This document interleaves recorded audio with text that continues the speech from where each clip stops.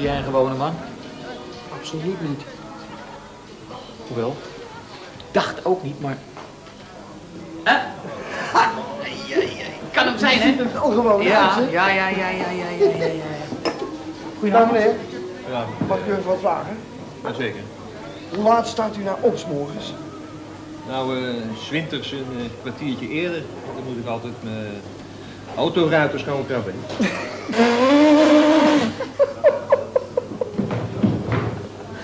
is wel gewoon. Het is wel gewoon, ja.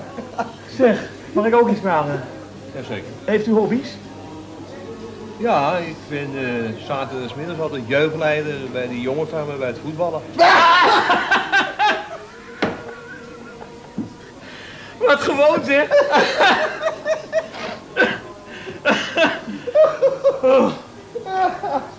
Dit is hem. Nou, nou. Dit is hem. Hoe, hoe, hoe gaat u 1984 in? Gewoon, hè. Ik eh, ga eerst luisteren naar het eh, nieuwjaarsconcert uit Wenen. Ja? en dan, eh, daarna kijk ik altijd naar het eh schanspringen uit Kamis Pattenkier. Zeg, en intussen stiekem open, dat denk je dan alleen lazert, hè? Ja? Inderdaad.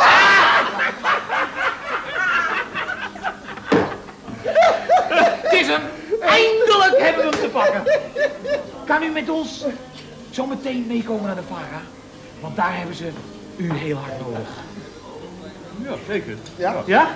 Zullen we gaan dan? Kom op. Ja, maar eerst mijn glas zetten.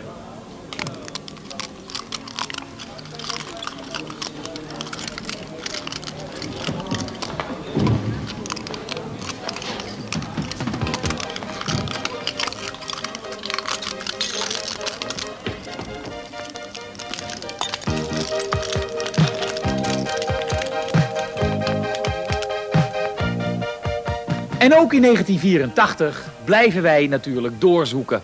U helpt in ieder geval goed mee. Deze is ingestuurd door de dochter van Ben van Dulleme uit Didam. Signalement van Ben. Lengte gewoon, gewicht nog gewoner, uiterlijk het gewoonst, eigenaardigheden geen. Komt u de richting? Ja. En dit is de heer Roest uit Brielen. Dus ook niet mis. Die drinkt prik en die houdt van yogi drink. Hij rijdt in een DAF. En hij kijkt vol overgave naar de consumentenman. En hij geeft nog aan collectebussen.